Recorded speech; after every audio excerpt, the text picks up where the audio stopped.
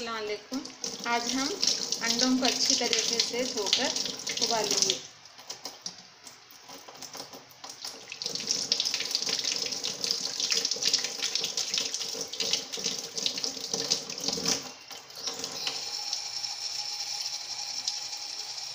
अंडों को हमेशा अच्छे से धोना, गंदे घी रहती इसमें अच्छे से धोकर उबालेंगे।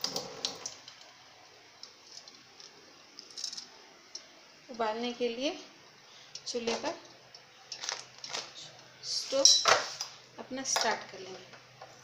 अंडों को हमेशा चार पाँच पानी से अच्छे से धोना चाहिए और उबाल आए तक अंडे अच्छी तरीके से उबलना चाहिए और उसमें जल्दी से तड़क आना चाहिए। तो थोड़ा सा चुटकी भर नमक डालेंगे हम। देखिए अंडे किस तरीके से मस्त, ज़बरदस्त तरीके से उबल चुके।